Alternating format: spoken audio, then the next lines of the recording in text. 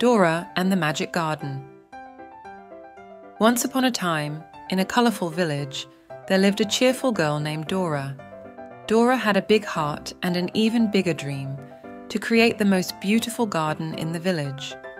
But there was one problem Dora didn't know much about gardening. One sunny morning, Dora met an old gardener named Mr. Green. Seeing her enthusiasm, Mr. Green gave her a tiny, shimmering seed. This is a magic seed, he said. With friendship, motivation, and discipline, you can make it grow into something wonderful. Dora was excited. She planted the seed in her backyard and promised to take good care of it. Every day, she watered it and made sure it got enough sunlight. But nothing happened for many days, and Dora started to feel disheartened. Then her best friend Max came to visit. Seeing Dora upset, Max decided to help. Together, they read books about gardening, learned about different plants, and how to take care of them. They worked hard, weeding and watering the garden every day. Slowly, the magic seed started to sprout.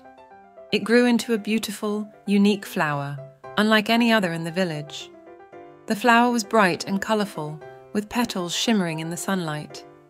The villagers gathered around Dora's garden amazed by the beautiful flower.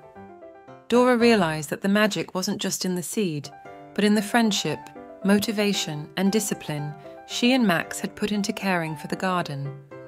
From that day on, Dora's garden became a symbol of hard work and friendship in the village.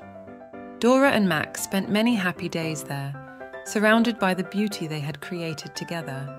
And so, Dora learned that with a little help from friends and a lot of dedication, even the smallest seed can grow into something extraordinary.